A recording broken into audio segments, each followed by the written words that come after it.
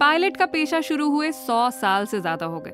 फिर भी, आज भी जब हम फीमेल पायलट्स को देखते हैं तो उन्हें देखकर हमें हैरानगी होती है। आपको भी होती है ना? क्यों?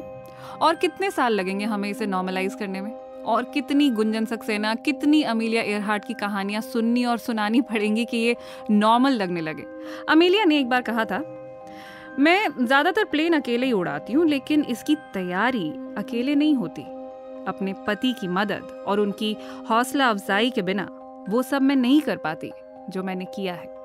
महिलाओं के पास अक्सर ये लग्जरी नहीं होती। जब वो अपना करियर बनाती हैं तो घर, बच्चा, खाना, सफ़ाई वगैरह वगैरह सब साथ लेकर चलती हैं। इसलिए उन पर इल्ज़ाम लगाकर उनकी मुश्किलें बढ़ाई नहीं, बल्कि सपोर्टिव पति बनकर और सपोर्टिव पतियों की तारीफ़ करके उन्हें मोटिवेट कीजिए।